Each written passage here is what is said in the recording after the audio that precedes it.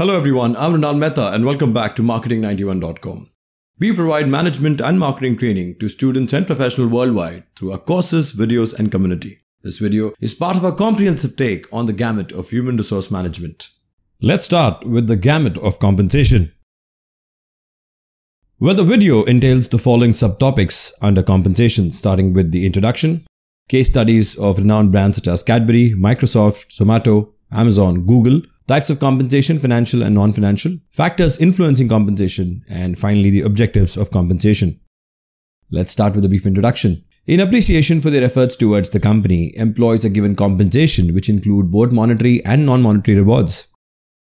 It is reimbursed in the form of stipend, salary and benefits for employees including paid time off for vacation and sick days, health insurance, maternity leave, travel reimbursement and retirement benefits, etc. Let's look at some examples, starting with the first one of Cadbury. Well, employees at Cadbury get a two-year wage raise of up to 17.5%. In addition to a separate 25% increase in holiday pay, upwards of about 1000 Cadbury employees have received a two-year salary agreement worth up to 17.5%. An agreement of two years which includes incentives and sees employees' pay climb above the current inflation rate. A total of 80% of the workforce stationed at several Cadbury plants near Hereford, who are members of the Union Unite, voted in favor of the deal.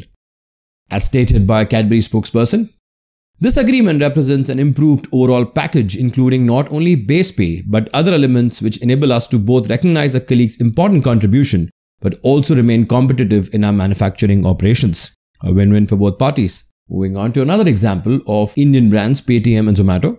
Paytm and Zomato announced ESOPs worth INR 944 crores and benefits for the top brass executives of the firm. Directors, key management personnel, and dependents of uh, key management personnel received payments from Paytm totaling INR 564 crores in place of ESOP expenses. Zomato paid its CEO, CFO, and company secretary wages and ESOP expenses as well as other employment benefits totaling INR 380 crores. This is despite the fact that Zomato recorded a consolidated loss of INR 250.8 crores in quarter 2 of uh, financial year 23 and Paytm's net loss increased to INR 571 crore in the same quarter. Moving on to another example of compensation, in this case of Microsoft. In order to retain staff, Microsoft will increase salaries and stock awards. In accordance with a memo from CEO Satya Nadella, he said, Our talent is in high demand. The money for pay raises might nearly double as a result of the shift. Let's talk about this in detail. Microsoft intends to nearly double its allocation for staff pay hikes and increase the range of stock awards it grants select employees by a minimum of 25% in an attempt to maintain personnel and assist them in adjusting to inflation. The software industry behemoth stated in a statement that early to mid-career employees would be primarily impacted by the change. Microsoft is engaged in a heated competition for expertise with firms like Google and Facebook owner Meta Platforms, Amazon, and also other startups. This competition is on top of the company's struggle with the rising cost of living and the restricted housing market in Seattle. Moving further, there has been a lot of competition in areas like artificial intelligence, cloud computing, metaverse, and cybersecurity. Additionally, a lot of people have migrated and are reevaluating their career possibilities as a result of the pandemic. In a memo that Bloomberg was able to get, CEO Satya Nadella made a statement. Time and time again, we see that our talent is in high demand because of the amazing work that you do. The compensation plan at Microsoft consists of a base pay bonuses and shares. As a result, a sizable portion of the corporation staff, which is as of June 30, 2021, total about 181,000 will be impacted by the changes. In fact, uh, before becoming a corporate partner and moving up the pay scale, level 67 is the penultimate tier that an employee may reach.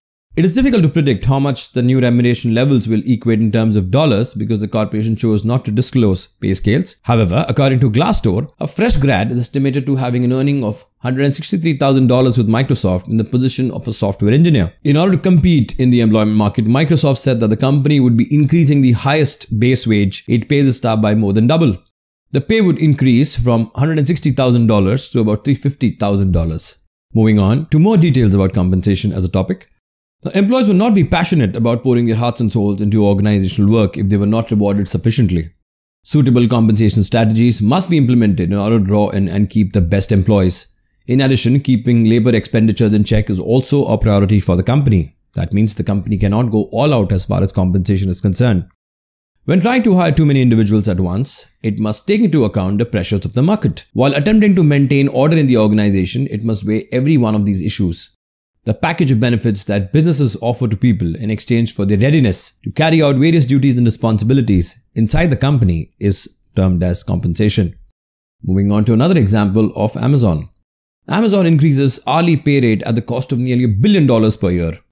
Amazon declared a pay hike for hourly employees in the states that, according to the company, will raise the average starting compensation for frontline workers in transportation and warehouse to more than $19 an hour. The minimum wage set by the company for all hourly employees in the states is still about $15 per hour.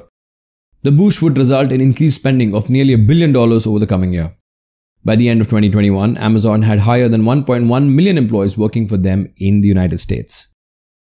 Moving on to another example of Foxconn, the uh, contract manufacturing electronic giant. They introduced a new bonus program for both current and previous employees. According to the company's recent announcement, Foxconn factory in central China has introduced new incentive plan for its current employees who have a low percentage of absenteeism as well as appropriate allowance plans to entice its previous workers to return to work. The company would provide a one-time incentive of 500 uh, yuan, that is about ballpark $70 for previous workers who left the facility between October 1 and November 10 and who are now back at work. As per Foxconn, returning employees who work for longer than a week would receive a second incentive of 30 yuan for every hour, which would continue for two months starting in December and be given out along with pay. Now let's look at the types of compensation. Where broadly there are two types, financial and non-financial. Uh, let's take a stab at each one, starting with financial compensation. Well, salary and wages are the most basic type of financial compensation. Salary is the term used to describe the monthly premium of compensation. In contrast, wages are per hour rates of pay, typically followed at quick service restaurants worldwide like McDonald's. Regardless of how many hours a worker has worked, annual raises are the possibilities of salary and wages. Moving on to the next is incentives. Incentives are payouts made in conjunction with salaries and wages. It is sometimes known as payment by outcome. Profits, sales, productivity, and cost cutting initiatives are all factors that influence incentives. Personalized incentives can be used to reward particular employee productivity. Group incentive programs need cooperative work from all members of the group on an equal playing field to complete the task at hand. Moving on to the next allowances. Allowances entail the likes of uh, house rent allowance, conveyance allowance, leave travel allowance, DNS allowance, etc. Number four is claims. Invoice claims may cover a portion of your monthly compensation. These cover things like the cost of using the phone or a mobile device, internet access, and medical expenses. These have a cap and are often paid in exchange for the presentation of legitimate bills by the employee. At number 5 is uh, the concept of gratuity. This is a compulsory national component that is included in the pay breakdown. However, it is only received after an individual resigns from the job after working there for longer than 5 years, typically the condition in India. In India, for instance, the 1972 Payment of Gratuity Act governs the gamut of gratuity and its norms in the country. At number 6 is added bonuses. These include perks for employees such as medical treatment, healthcare and group insurance, canteen facilities, hospitalization, uniforms, accident relief, recreational activities, etc. And finally, perks or perquisites. Senior executives are entitled to these perquisites, which would encompass stock options, plans, paid holidays, furnished homes, corporate cars, club memberships, and other kinds of things. Moving on to non financial compensation. Well, these include the likes of first, duties of the position given to you, as in they are enriched.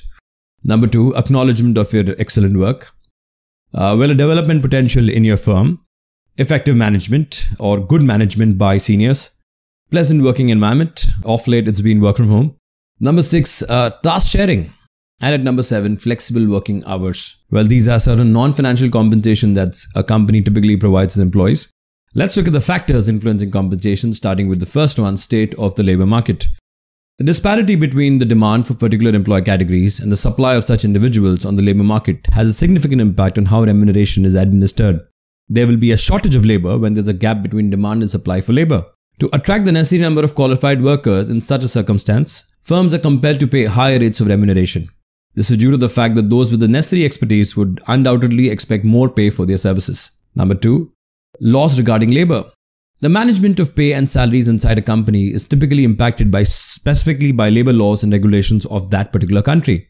Broadly speaking, the minimum salaries and bonuses that must be paid to employees, the workloads, and the working hours are all governed by the laws that the federal and state governments pass. At number 3, comparable pay ranges. Companies should take into account the salaries offered by comparable businesses in the same sector for positions with a similar skill set. When a firm pays its personnel less than the going rate, its workforce strength will suffer owing to the increasing labor turnover. In contrast, it would be able to draw in and keep the top talent if it pays more than the going rate of pay. As a result, the organization's pay policies are significantly influenced by current wages. At number 4 is the cost of living.